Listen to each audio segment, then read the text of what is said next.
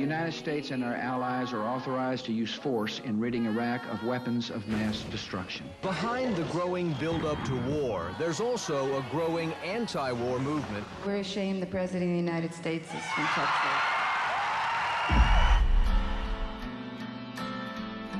You support the Dixie Chicks, you're supporting traitors. Move to France, Dixie Chicks. Try not to be judgmental of the president. I'll tell you why. He's got sky high approval.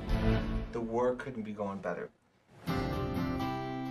The people who got it all started was a right-wing group called the Free Republic. They should send her over to Iraq, strap her to a bomb, and just drop her over Baghdad. They're attempting to manipulate the American media, and the American media is falling for it. The Red Cross wouldn't take a million dollars from us. Well, you do know that George W. Bush is the honorary chairman.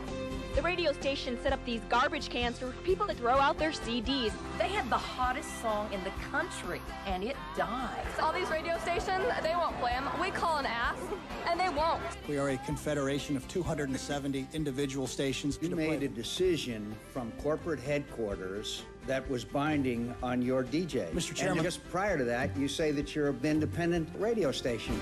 That's a total contradiction. says Natalie Maines will be shot dead Sunday, July 6th. The Viola Center is working with police to provide extra security surrounding the Dixie Chicks concert. It's easy for people to write ugly things and hateful things, but when somebody hates you so much for what you say that they want to kill you. USA! USA! USA! We're sisterhood. We go through the good, the bad, and the ugly all together. From the two-time Academy Award-winning director Barbara Kopple and Cecilia Peck. Freedom of speech is fine, but by God, you don't do it in mass publicly. Shut up and sing. They shouldn't have their feelings hurt just because some people don't want to buy their records.